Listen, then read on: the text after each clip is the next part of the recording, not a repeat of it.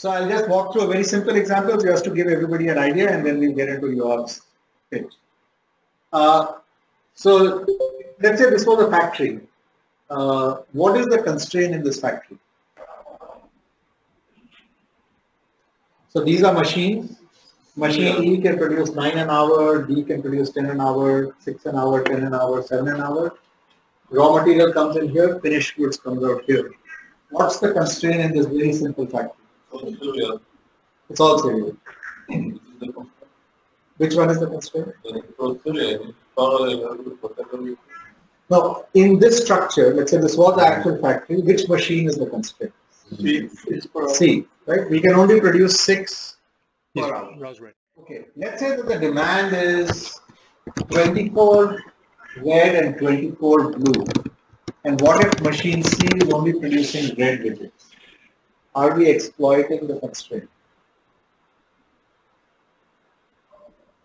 Right, so we can produce, let's say the machine can work uh, 8 hours a day, so you can produce 48 widgets in a day. And the demand is 24 red and 24 blue, and you end up producing 48 red. Did you exploit the constraint? Probably not, because whatever you have made, you can't sell, right? Now, so the first idea of exploiting the constraint is working to what is the true demand. Knowing what the true demand is and working to what the, and only producing what the true demand is, right? Let's keep going.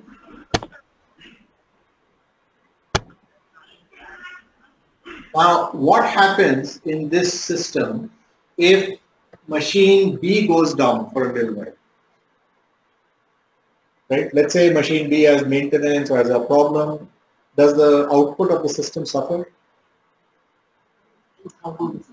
Depends on how long it's down. But we have capacity to recover on machine B, right? But what happens if machine C goes down? That's a true loss, right? You can't recover from that loss. So every second lost on the constraint is a second loss for the entire organization. So this might be just one person working on this constraint and there might be 100 people working here and 100 people working here, right? Their output is not critical. What is important is the output of this one person, right? Does that make sense? So this is a very different mindset. If you think about how organizations look at efficiency or look at productivity, they look at every single department, look at every single person and try and make every single person busy or utilized fully or efficient, right? How often do is there clarity around what the real constraint is and to make sure that the constraint is being fully utilized, right? That's the real challenge over here, figuring out where the constraint is and then making sure that the constraint is exploited.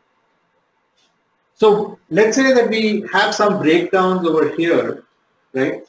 C is still working, but the risk is that C's output will get hurt because you'll run out of inventory, you'll run out of material, so C will run idle, right? So one way of protecting the constraint is to have a buffer in front of C. Right, so you are protecting the constraints output by creating some buffer in the system, by creating some inventory in the system. That's the second idea is how do you protect the constraints output? Now this starts to get into the idea of subordination. Because where do we want this buffer? Do we want the buffer to be here or here? No. Do we care if A or B is idle? We probably don't care if A or B is idle, but we do care if C is idle. So having the right inventory in front of C is a key part of exploiting the constraint. Right? Make sense? This is all common sense. Like the, the, the amazing thing about theory of constraints is that when you think everything that is there is common sense, but it is not common practice. Most organizations are not working this way, even though it's common sense. Like, Keep going.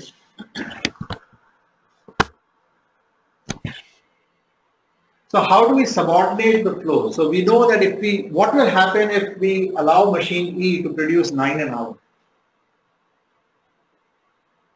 Or if every machine is trying to produce the maximum it can, right?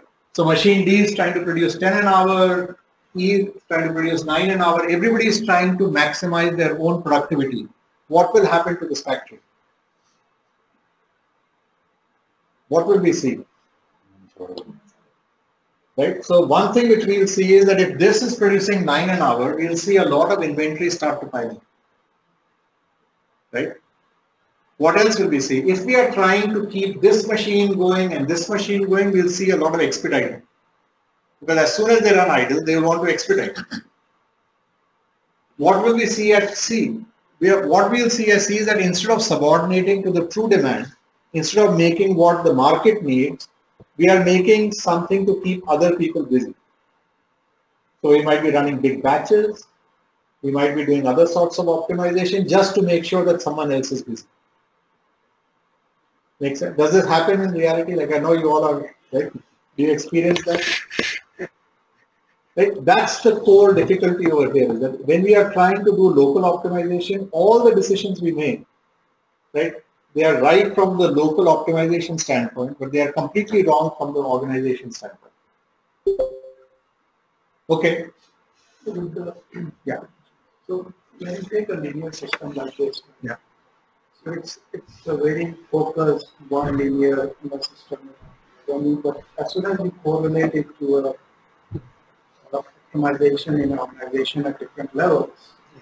Uh, you know, so sometimes control, monitoring, and uh, you know, and, and the, you know, better results come out of local optimization.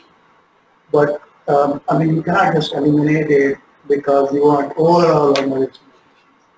But you know, so what, what I'm trying to come to is maybe there are building blocks that you know in itself is a system like this. Yeah then overall there is, yeah. So uh, you can take this idea and you can apply it to your department. You can apply it to yourself first, right? You can see what is your constraint, how is your, like whatever activity that you do that's your constraint, are you focused on it or are you distracted with a lot of other things? So you can apply it to yourself, you can apply it to a small team. It doesn't mean that you'll not get results, you'll get local results, right? But it's like improving machine B if by chance I happen to be machine C and I improve myself, by chance if I improve myself, I'm going to see an immediate gain in the overall organization. But if I'm not machine C and I improve and go from 10 to 12, it's not a bad thing. I have generated more protective capacity. I'm not going to be the constraint. I'm not, even if I break down now, I have more than enough capacity to recover. So it's not a bad thing. But you're not going to get huge benefits for the organization. Right? knowing what the constraint is creates that leverage so that whatever improvement you make suddenly has an impact on the entire organization. Okay. So this is kind of the idea around kind of how we would subordinate in such a system by putting in buffers at the right spot, by breaking batches, by subordinating to the true demand, market demand, by making sure that we don't let more stuff come in right? And then monitoring what's in the buffer and expediting based on what we really need. Right? In this simple factory, that's how we run this factory if you were thinking according to theory of constraints. And that's very different from the way that you run the factory in the traditional way. In the traditional way, we run the factory to optimize every machine. In fact, there would be formal measurements of efficiency and utilization at every machine. Right? Okay. So now keep this in your back of your mind. This is kind of the general idea. What I'd like to do next is introduce you to Yoav Z.